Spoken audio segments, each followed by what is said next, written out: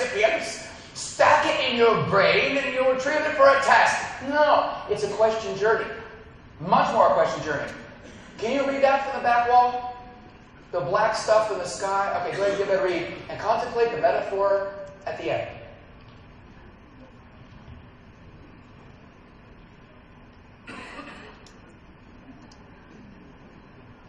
So this is interesting. This is from the States. I don't know what it is in the various countries, but from the States, it turns out that 70% of the children prior to first grade in the United States tested genius level of creativity. 70%. By the end of fourth grade, it's 30%. By the end of grade 8, it's less than 10% tested genius level. We talk the creativity right out of them because we're trying to elicit a singular response. Tony Wagner, Global Achievement Gap, many of you know his wonderful work, but he interviewed CEOs blue collar jobs, white collar jobs, every color color in between. And say, what's the number one thing you look for in new employees before you hire them? And the number one thing, independent of each other, they all said was this. Did they ask good questions? Where's that assessed on standardized tests? Where do we sit down and say, before we even do the math or contemplate it, what questions should we be asking? That's huge. But what should a lawyer never do in a court trial? Ask a question to which he doesn't already know the answer. We better be doing that in front of the kids. We have to model how not to know something and handle it with grace. Handle it constructively because they need to model that. Because their whole world is taught, no, you can't struggle. Academic struggle is weakness, not virtuous, when really it is. Niels Bohr, physicist out of Cornell, the Bohr model of the atom that some of you used to teach or study when you were kids has now been superseded by what we know at subatomic level in quantum mechanics. But nonetheless, you might remember this electrons and orbitals and all this other stuff, right? He said this the expert in any field is the one who's made the most mistakes in that field. We cannot, we cannot demonize failure. Some schools have this really ridiculous quote on their walls, sometimes on the lanyards of the ID tags. Ready? Here it is. Failure is not an option. It's not an option, it's preferred. In the top three all time best learning experiences to recover from failure. Because that can teach in ways that exposure to consistent success cannot teach. So I go out of my way to make sure all of my students, when I'm in a classroom, when I'm teaching, all of my students, even the 4.0, 100%, the A plus students, fail something once a marking period. Wait, please, hold your applause. Not something so damaging to the GPA they can't recover from it, but something where they're an absolute beginner. They've confronted a, a, a limit in some way, and they have to develop the coping strategies well, it turns out the kids who coast all the way through and never confront failure fall apart when the stakes are much higher down the road. So we have to go out of our way to fail our children. I know it sounds weird. Talk more about that in just a moment. So, sample acts of courage in no particular order. Retaining autonomy, pacing guides, not a pacing mandate. Oh, there are some people who, or some schools that do this. This book be the book we teach at this grade level. No other grade level is allowed to use this book. We are isolationist and territorial. I close my classroom door, it's a private fiefdom. I've seen Tuck Everlasting is the official novel of grade 4, 5, 6, 7, 8, 9, and 10, depending where I am in the world, just so you know. But everybody gets territorial. I find this book doesn't work. But this other book in the same genre on which I can hook the same learning will work better with these seven students. I should be allowed to do that without suffering from the stare of death from the department chair or the team leader. But I have to have a pedagogical reason, not whimsy or I'm not removed or I never got that offer, so I don't want to do it. I get that. Teachers kind of get like that sometimes. But the idea that I can analyze and explain educationally, yeah, I can do that. I'm going to ask the larger questions of what I do. That's scary. We're sitting there doing homework policy. Hey, seriously, what's the role of homework? Why do we grade kids? What do I know about how brains learn today? And how is that reflected in my lessons? Oh, it's not. Why not? Whose voice isn't heard in our deliberations? How is the current structure limiting what we could achieve?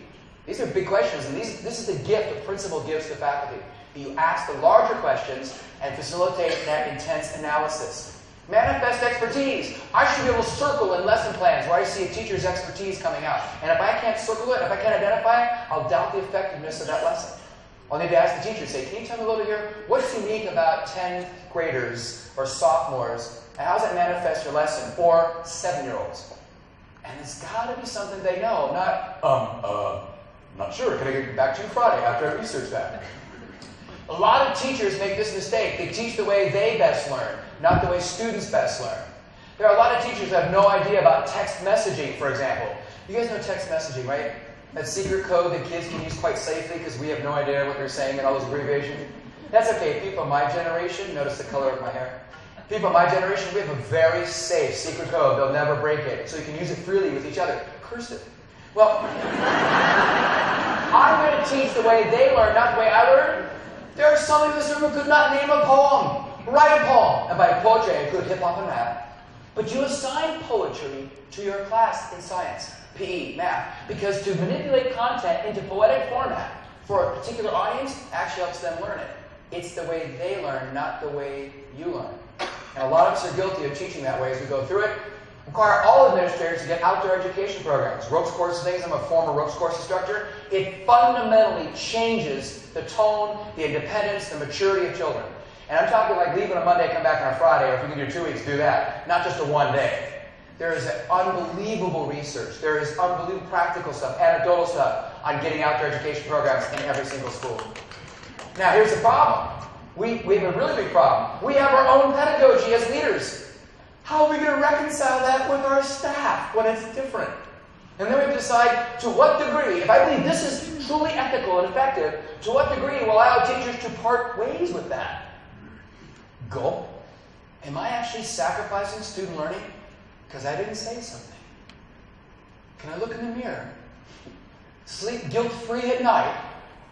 You have to choose your battles. I get that. And that's a big deal. We'll be talking about it more of it later. But one of the things I learned from colleagues who were uh, principals when I was studying to be a principal, getting my license for that, is they often said this Rick, there's a time to be a leader and there's a time to be a boss.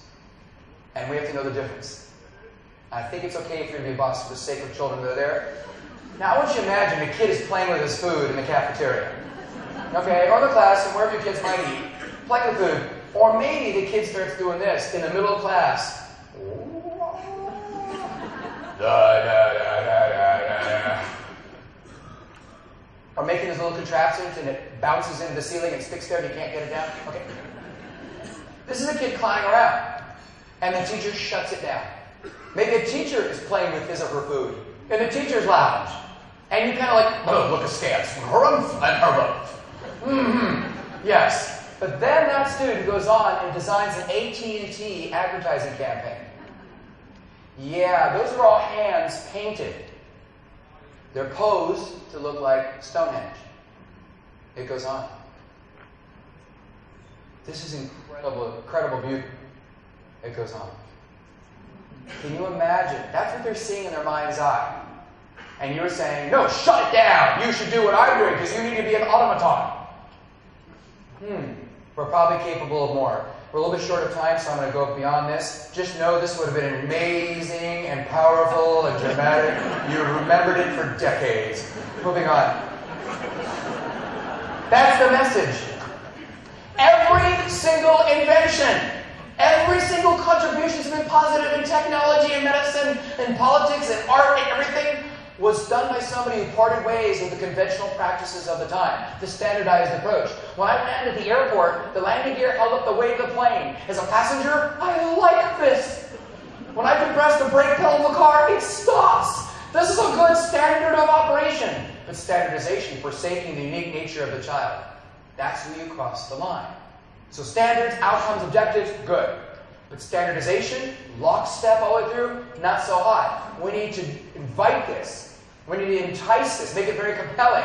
One of the things we've learned is this teach models in science, math. Teach the five paragraph essay model. And then, just as importantly, and sometimes more importantly, you teach them how the model breaks down in this situation.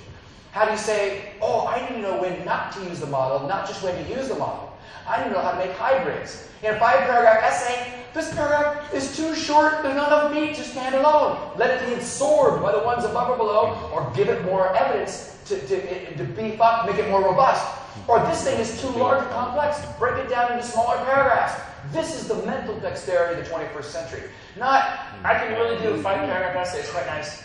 I was sharing with one group yesterday that in 2010, the United States had a really embarrassing moment. We couldn't find enough candidates for the Rhodes Scholarship Program. for the first time in the history of the United States we couldn't do it. What? All these people being interviewed for Rhodes scholarships. They could tell you the prime minister, the premier, the president of every country, imports and exports. Back through the decades, for every country in the world, all this stuff, basic recall. They couldn't analyze one political conflict that how it was successfully resolved, pull the insight and wisdom from that, extrapolate it, move it over here to help inform and try to resolve this political conflict in another part of the world. They didn't have the flexible application, the mental dexterity. We don't want to lose that. At any pace, we don't want to lose that. So if this is your classroom, you might have benches in there, maybe not. There's probably holes in the roof. Might be leaning over. Could you teach the class all the differences between Renaissance and Middle Ages architecture? I think you could.